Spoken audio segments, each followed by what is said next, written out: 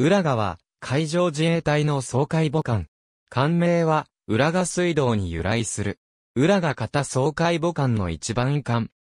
浦賀は、中期防衛力整備計画に基づく平成6年度計画5600トン型総海母艦463号艦として、日立造船舞鶴造船所で1995年5月19日に寄港され、1996年5月22日に浸水、同年12月4日に講師開始、1997年3月19日に収益し、第二総海大軍に直轄艦として編入され、横須賀に配備された。1999年11月7日、横須賀周辺及び、相模湾にて、在外邦人等輸送訓練を行う。この訓練では他に、白根、村雨、天霧、十和田の艦艇、陸上自衛隊からは、第一空挺団で編成された誘導隊が参加した。2000年3月13日、総海部隊の再編により総海大軍が新編され、直轄艦として編入。2001年11月25日、テロ対策特措法に基づく協力支援活動のため、アラビア海に向け出港。12月12日、護衛艦、沢切りと共に、パキスタンのカラチ港に入港し、2隻合わせて、テント1025丁、毛布18,600枚、ビニールシート7925枚、スリーピングマット19,980枚、給水容器19,600個を難民高等弁務官事務所に引き渡した。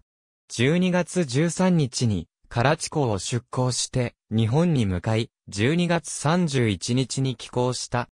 2004年4月21日から5月7日までの間、シンガポール周辺海域において実施された第2回西太平洋、総海訓練に総海艦、八条、総海艇、浮島と共に参加した。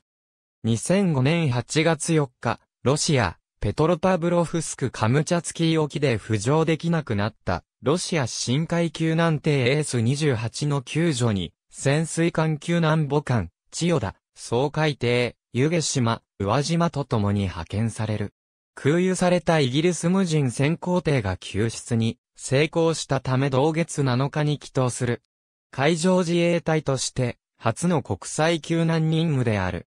同年11月25日、国際連合難民高等弁務官事務所の要請を受け、アフガニスタンの難民向けにテント、毛布などの物資を運ぶため、護衛艦、沢切と共にパキスタンのカラチへ派遣された。救援物資搬出後は、沢切と別れ12月31日に帰国した。2007年7月16日、発生した新潟県中越沖地震で災害派遣を実施した。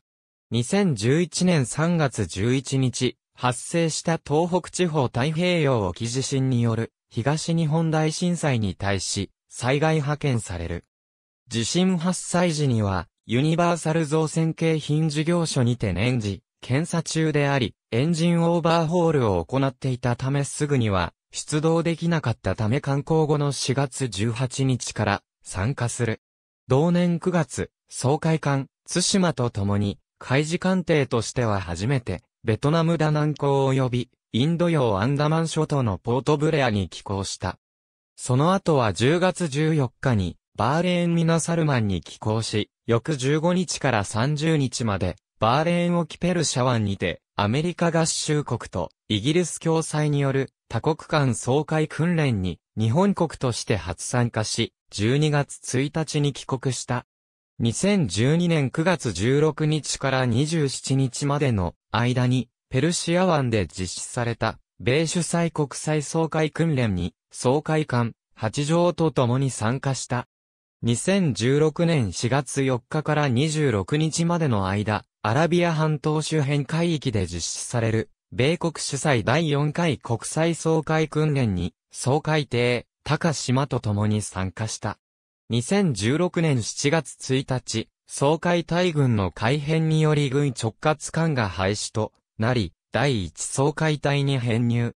2018年7月18日から7月30日、道の区湾にて、機雷戦訓練及び彦目印、共同総会特別訓練を実施する。2021年12月12日から2022年3月31日にかけて、総会官、平戸と共に、令和3年度インド太平洋、中東方面派遣に参加する。派遣期間中、米国主催国際海上訓練に参加する予定。ありがとうございます。